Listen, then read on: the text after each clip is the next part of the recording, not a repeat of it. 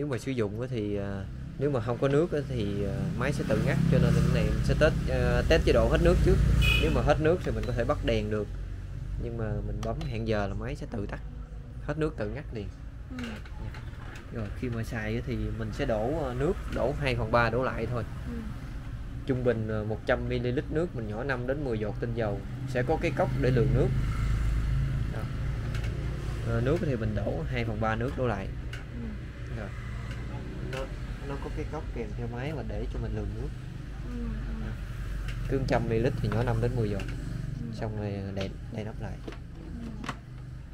rồi cái nút bên tay trái là nút đèn bấm đầu tiên đèn sẽ tự đổi màu đây đèn quay gần nếu mà muốn thích màu gì cứ bấm hoài tới nút đèn này nút bên tay phải là nút hẹn giờ bấm đầu tiên là máy đúng một tiếng đồng hồ nó ngắt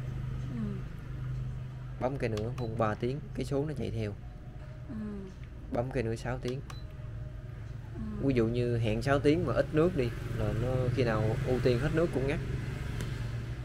Còn à, bấm một cái nữa là on là phun chừng nào cạn nước tắt. Ừ.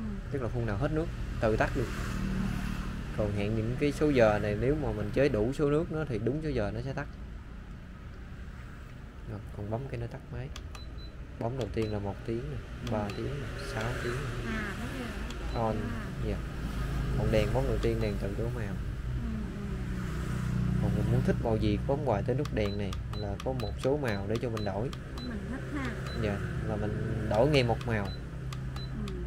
quên cách sử dụng thì vô youtube cả cảnh shop hoặc trong máy sẽ có sách hướng dẫn sử dụng tiếng việt Ừ. Giờ biết rồi. nước chưa, lạnh ôi chưa hoài không thấy đâu nước lạnh cho nên không không không thấy mùi thơm. Mà máy sẽ có tặng thêm cái điều khiển. Dạ, nếu mà điều khiển thì mình xài rút cái nắp chặn pin này ra.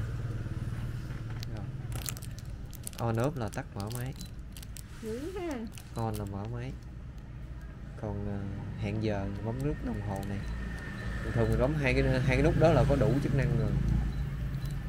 Rồi đèn có đầu tiên đèn tự đối màu bitmon là phun lớn nhỏ Ừ. Inter là ngắt quãng continue liên tục hai nút này không cần sử dụng sử dụng bốn nút này là được Ừ. nha. bình thường thì mình cứ bật lên cái Ừ. mình muốn qua chừng nào hết nước ngắt thì mình bấm qua on đèn bấm cái là tự đổi màu Rồi, hiểu rồi. rồi nếu mà chị ờ, ngưng sử dụng 5 10 ngày gì đó mà không sử dụng thì mình đổ hết nước dùng khăn giấy lau khô được Ừ. tránh trường hợp tinh dầu nó bám